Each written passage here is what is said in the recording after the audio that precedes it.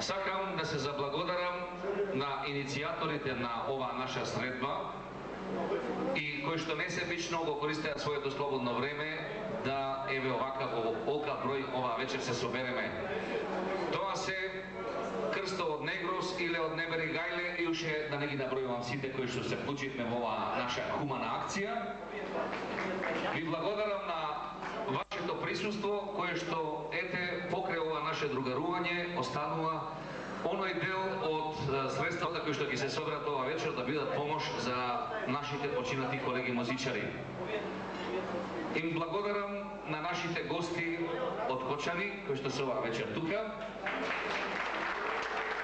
И благодарам на нашата гостинка која што исто така тука се надеваме дека околу 10 и нешто часот ќе пристигнат нашите пријатели Ѓокице Лукаревски и Емин Унџел, така да ние ќе можеме да се забавуваме. Кире, кажи што е понатака и на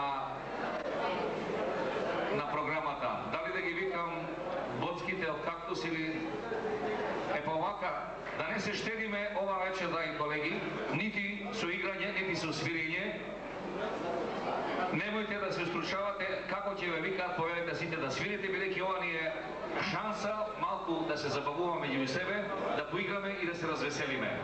Нека ни е традиционална ова музичка вечер на нашите музичари од Тито Велес. Име ти благодарим на вака топлите и добрите зборови. Ние одиме понатаму пред настапот на групата Кактус, само да ви кажам дека ќе имате можност ова вечер да го последите настапот Бегинот веќе кажа, Джокица Лукаревски, Емин Унджел, најверојатно доколку успее да стигне и Војче Китаровски, меѓутоа овде вечер исто така меѓу нас ќе бидат Анита Поповска и Мирко Стојковиќ. Да кажеме од оние официјалности, нели кога започнува една вечер кажуваме се, па и спонзори. Спонзори на оваа вечер се предпријатието Мешко од Тито Велес, исто така трговското предпријатие Универзал Промет на Ване Мечкаров. Тоа се нашите спонзори, се веќе следено групата, така както се мало да ги зазовем своите места. Значи, најнапред во друштво со група кактуси се разбира добра музика за забава и игра. Повелете.